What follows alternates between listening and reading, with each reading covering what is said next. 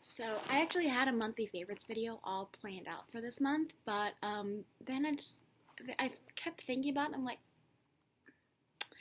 I don't know if my heart's just into that. So um, this might just turn into a channel for like random vlogs and my thoughts for the day or whatever. So um, I know I know nobody cares because nobody watches me yet. So how would they know what my original style was? But so um, I'm thinking about like just going into like the kind of daily, no, probably not daily, or a vlog just whenever I have something on my mind, something I want to talk about, or just kind of address.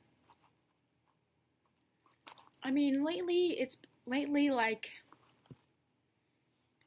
I want to I, I want to say like lately like my purpose in life. I've been thinking about that a lot. And I honestly don't know what my purpose is. The whole reason I decided to study math is because I was good at it and I seemed to have a knack for numbers.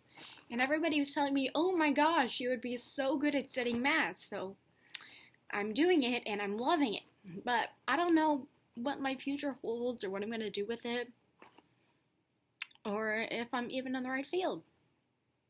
I mean, I have to be because I'm not really good at any other school subject, so why not study math? And um, I am studying computer pro like computer science too, just because I thought I needed something to do with math. I mean, I do like programming. It's by itself. I do like programming, but it's kind of like learning another language. I mean, it's extremely difficult. And I always kind of feel like I'm behind in that class. Like, like everybody else just has more experience than me. And I know being a girl in like the math and science industry, there's gonna be there's gonna be obstacles. But I guess if I I guess if I really want to do this, then I need to like pursue it.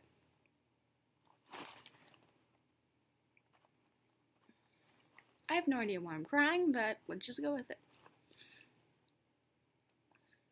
I mean, I know everybody has a destiny. I do believe that everybody has a destiny, but the, I think the whole difficulty is trying to find whatever that is. So, um, that's all I have to say. Thank you. Thank you for listening.